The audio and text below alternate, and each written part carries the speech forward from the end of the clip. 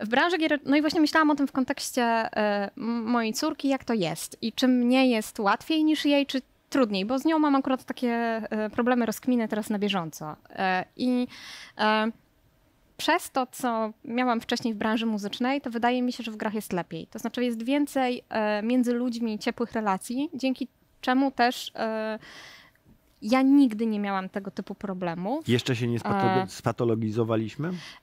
Nawet nie. W takim stopniu, no bo wiadomo, mi że się- tych patologii trochę jest. Nie? To znaczy, wiesz, są różnego rodzaju problemy, z którymi musimy się zmierzyć. Czasami to są duże problemy, ale czy one są specyficzne dla naszej branży? Uważam, że nie. Myślę, że w innych branżach są podobne problemy i Mhm. po prostu no, my jesteśmy e, takim trochę papierkiem lakmusowym tego, co się dzieje w innych miejscach, bo być może w naszej branży e, mamy mniejsze przyzwolenie na tego typu relacje.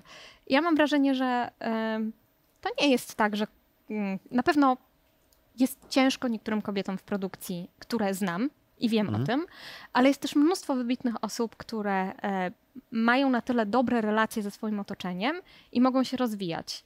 Więc o ile jest to temat skomplikowany, to na przykład dla mnie gry były w pewnym sensie, e, no nie, Nie chcę mówić, wyzwoleniem, ale jakimś takim krokiem były wyzwoleniem. Trochę były, dlatego że w miejscach, w których ja pracowałam wcześniej, pewne problemy były jeszcze bardziej widoczne.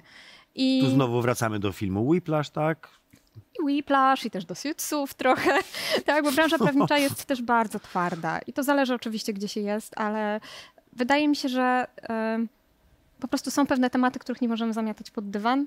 Jeżeli tego nie będziemy robić, to mamy jako branża, która w dużej mierze opiera się na zaufaniu i w komunikacji z klientami, i w komunikacji, e, no, głównie tak naprawdę z community, tak, w tworzeniu społeczności e, i też w tworzeniu tych mikrospołeczności w firmach, mamy bardzo dużo do zrobienia, ale to jest taka praca, która chyba, chyba jesteśmy na nią otwarci. A przynajmniej w wielu firmach, które znam i w wielu miejscach, które znam, jest właśnie nie ma zamiatania rzeczy pod dywan. Choć pewnie, no, wiemy Troszkę o tego jest. Co, Wiemy, że są miejsca, gdzie historii. to jest. Dokładnie.